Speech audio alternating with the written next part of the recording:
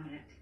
Your mom needs Come here, Misty. You are exactly where you need to be. Come here, baby. No, don't do your ear. I just cleaned it out. Ordering food to No, baby, don't mess with your Maybe ear. send her more Come on. Do you need more clothes? It's late. I'm tired. I'm. g- I'm fucking. Go get in your car then. Come on. Come on, Misty. Lay down. Go get in your car. Lay down, Misty.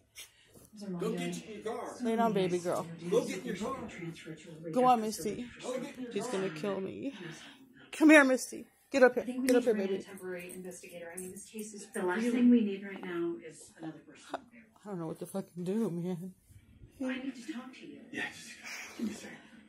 Sure, I So just killed us today in tired. those I'm so drained out. I'm so I'm aware. fucking We need to tired. turn those warnings against. He's coming after me again. They say if you use the wrong charger, the vape pen Yeah. may malfunction. You don't say the lawyer didn't face Get in your car.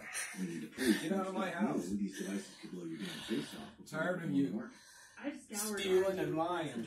I don't steal. You just need to go. We need a smoking gun. Get out. Or a smoking vape pen. Get it? Because I got it.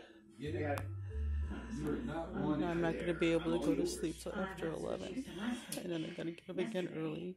No escaping now. Uh, we need to talk money. What about it? We don't have any. That sounds a tad hyperbolic. This is the biggest case.